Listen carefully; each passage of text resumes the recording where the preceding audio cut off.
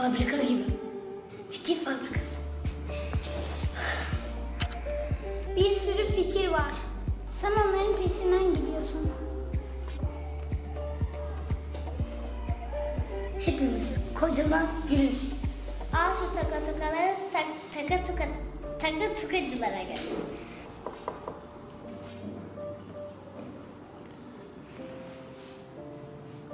Gelecek var burada. Mesela fizik, robotik, biyoloji. Hmm, bilim ve sanat merkezi. Geçmiş de var burada. Sosyal bilimler, tarih.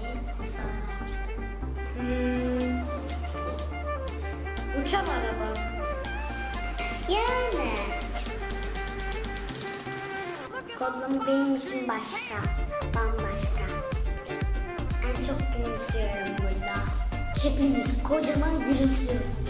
Buranın bir parçası olmak güzel. Aslında bilim ve sanat merkezi benim bir parçam. Hayal kurmak mesela. Artık daha çok hayal kuruyorum. Bilim ve sanat merkezi. O numara 5 yıldız. Buradaki etkinlikler daha değişik. Yiğit. Güzel bir yer. Mesela piyano çalıyoruz. Kemençeye de gideceğim. Ha, bilim sanat merkezi eee, çok eğlenceli bir yer. Yani burada çok eğleniyorum. Gitar çalmak istiyorum. Yani çalacağım da. Mesela piyano çalmak, piyano çalmayı öğrenmek ve değişik değişik etkinlikler yapmayı çok seviyorum. Bu yoğurdu sarımsakla saklasak da mı saklasak?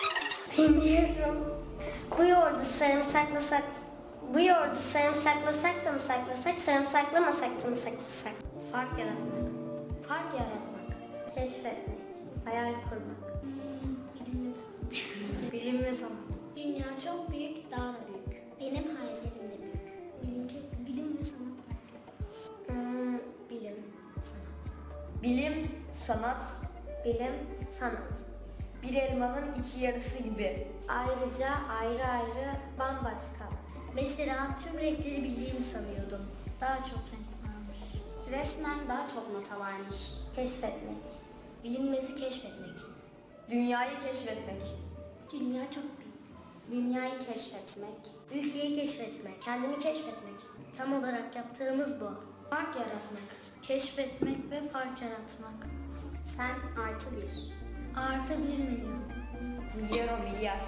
Dünya çok büyük, daha da büyük. Sen artı bir. Bilim ve sanat merkezi. Ha, tamam. Bilim ve sanat merkezi.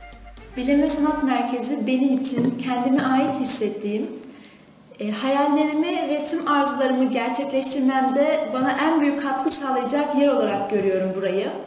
Bütün fikirlerini özgür bir şekilde burada ifade edebiliyorsun kimse tarafından yargılanmadan ve fikirlerin burada değer buluyor ve onlar yükseliyor. Bilim ve Sanat Merkezi'nde matematik ve edebiyat olmak üzere iki alanım var. Bunlar birbirinden çok farklıymış gibi gözükebilir. Halbuki e, ortak olduğu alanlar çok fazla. Edebiyat dersinde kendimi özgür hissediyorum. Tamamen yaz- yazılar yazıyorum, şiirler. Kendimi burada buluyorum. Matematikte ise farklı sorunlara çözümler getiriyoruz. Farklı bakış açıları getiriyoruz. Bu şekilde. Normal okul, okullarda e, sınav sana öğretilmek istenen şeyler var ve sen bunları öğreniyorsun, öğrenmek zorundasın. Bunlardan sorumlu oluyorsun. Ama bilim sanatta bu şekilde değil. Bilim sanatta tamamen senin ilgi ve yeteneklerin doğrultusunda sen ne öğrenmek istiyorsun, ne hakkında çalışmak istiyorsan sana onu veriyorlar. Ekstra seni bunaltacak hiçbir şey yok. Bilim Sanat Merkezi'ni gerçekten çok seviyorum ve kendimi buraya ait hissediyorum. Burası benim ikinci evim gibi. Resim yapmayı küçüklüğümden beri seviyorum. Resim benim iç dünyamı yansıtıyor. Her boş bulduğum zaman resimle uğraşıyorum küçüklüğümden beri. Ee, bilim sanata da 8 yıldır geliyorum ve en çok sevdiğim şeylerden biri burada resim yapmak. Gerçekten buraya gelince çok mutlu oluyorum ve kendimi de geliştirdiğimi düşünüyorum. Burayı ve öğretmenlerimi çok seviyorum. Yani derslerde sevdiğim şeyler üzerine konuşmak, tartışmak falan veya hani yazmayı çok seviyorum. Edebiyata geliyorum zaten onun için. Hani yani böyle. Ya öncelikle bizi burada hani sevdiğimiz alanlara göre yani sen doktor olacaksın, mühendis olacaksın falan gibisinden değil de hani sevdiğin, ilgi duyduğun şeylere yöneltiyorlar. Onlar üzerine belli bir yolda gidiyoruz. Yani istediğim şeyler var bazı belirli hedeflerim. Bunlar açısından burada hani geliştiriyorum bazı şeyleri. Mesela yazar olmak istiyorum. Onun için burada çalışıyorum. Yazıyorum, geliyoruz, konuşuyoruz. Seviyorum okul çünkü okuldan farklı, hani farklı şeyler yapıyoruz burada ve hoşuma da gidiyor. Yani daha eğlenceli. Dersler o kadar sıkıcı değil ve e, çok gereksiz şeyler öğrendiğimizi düşünüyorum okulda. Burada daha hayata yönelik ve hani daha bilmemiz gereken şeylerin asıl burada öğrendi, öğrenildiğini düşünüyorum. Bilim sanatta yapmayı en çok sevdiğim şey tasarım ve robot. Tasarım dersinde 3D yazıcıdan bazı tasarımları tasarlayıp çıkartıyoruz. Bir proje yapacağız. Robot dersinde de e, mesela ışık izleyen robot falan yaptık. Başka spalt robot yaptık.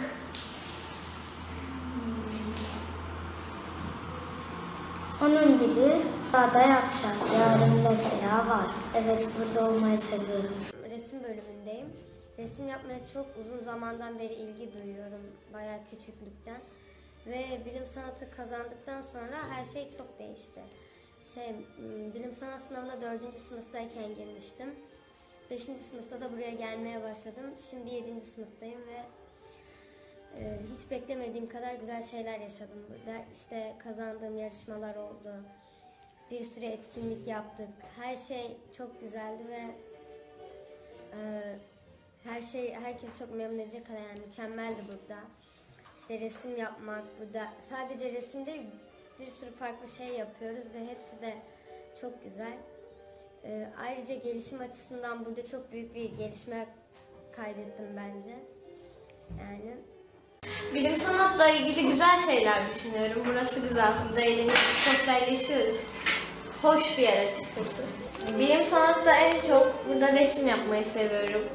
Öğretmenlerimle konuşmayı seviyorum, öğretmenlerimi görmeyi seviyorum burada. Ee, çünkü bunlar bana mutluluk veren şeyler, kendimi iyi hissediyorum. Bilim sanatta normal okulun bana göre en büyük farkı burada bilim sanatta ee, Resim çiziyoruz sürekli. Okuldaysa sürekli ders işliyoruz ve burada kendimi istediğim gibi ifade edebiliyorum. Okuldaysa biraz kısıtlı imkanlar.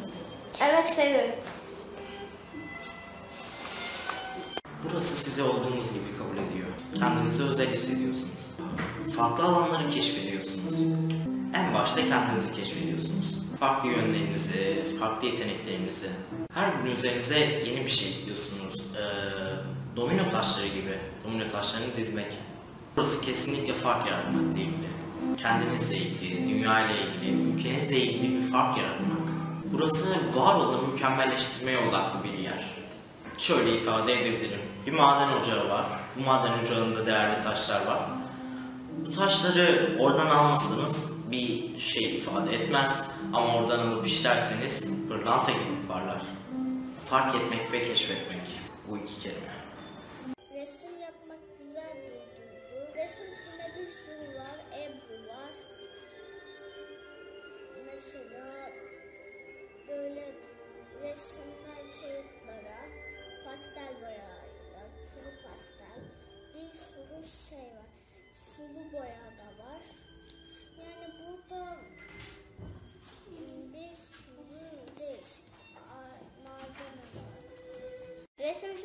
Güzel bir yer. Her gün resme gitmek istiyorum.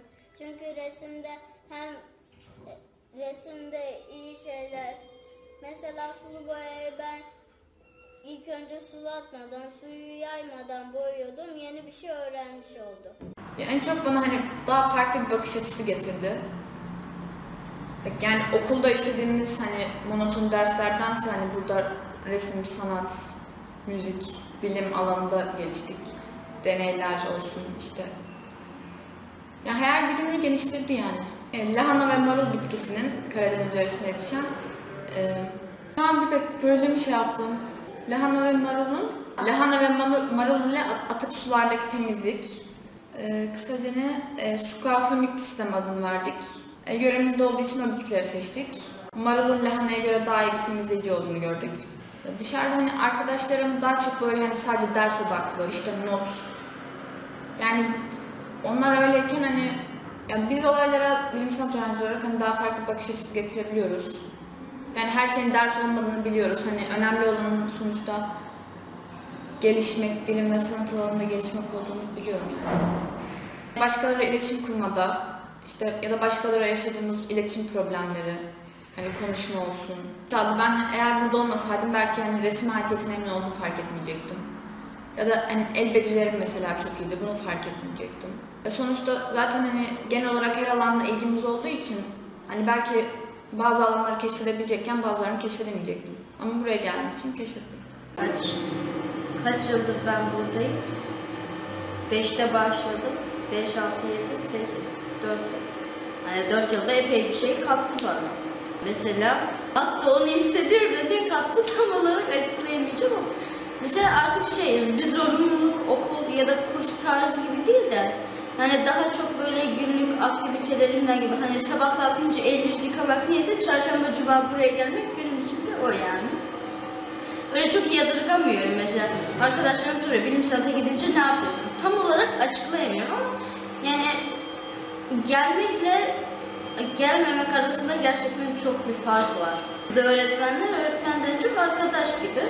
Hocalarla birlikte olmayı seviyorum öyle diyeyim böyle. Grup halinde ders işlemeyi, şu tarz şeyler yapmayı seviyorum. Şu anda Google yazısını basıyor. Hayal edilen her şeyi, tasarlanılan her şeyi Mesela bilgisayarda programında çiziyorsunuz ve burada üç boyutlu olarak çıkıyor böyle kağıt üzerinde değil. Mesela dokunabiliyorsun şey. O şekilde çıkarıyor işte. Bilim Sanat Merkezi e, şu sıralar üniversite sınavına hazırlandığım dönem içerisinde belki de burada gelip çalışarak, zevk aldığım bir işi yaparak stres atmamı sağladığım yer olarak açıklayabilirim şu an. E, Burada gelip yani yaptığımız iş kesinlikle zevk alarak yaptığımız bir iş. Yani belli bir e, emek karşılığında ortaya bir takım şeyler çıkarıyoruz. Ortaya çıkan şeylerin bazen iyi oluyor, bazen kötü oluyor ama sonuçta ortaya bir şey çıkması çalışan her kişiyi mutlu ediyor yani. O yüzden buraya gelip iyi zaman geçiriyorum. Farklı şeyler öğreniyorum. Birçok yaşlının bilmediği şeylerle muhatap oluyorum. Yorucu oluyor ama güzel oluyor. Bu tarz bir e, projeye giriştiğimizde ilk, ilk seferde tabii ki e, yardım almamız gerekiyordu. Yardım alarak bir takım şeyler ortaya koyduk.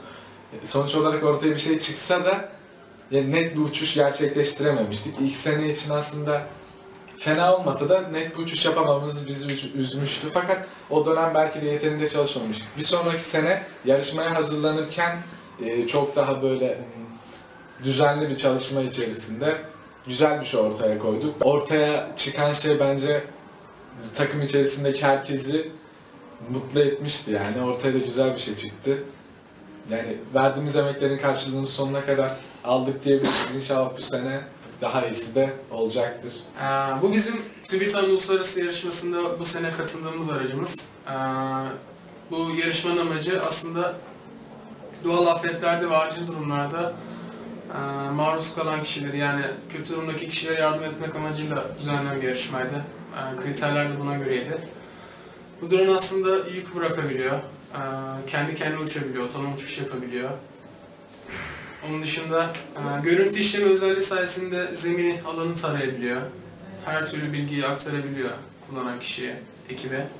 E, buradaki küçük drone da bizim daha çok deneyimlerimizi yaptığımız drone. Hani başarısızlıklarımızı burada tecrübe ettik. Hani bununla başladık, ortaya bunu koyduk diyebiliriz. Yani asıl aracımız bu. Bundan sonrakinde e, daha iyi bir araç ortaya koymaya çalışacağız. Pervanelerimizi büyüteceğiz. Motorlarımız daha güçlü olacak. Daha çevik bir şekilde uçabilecek aracımız. Boyutlarda düzenlemeye gideceğiz. Tasarımın daha iyi olacağını düşünüyoruz.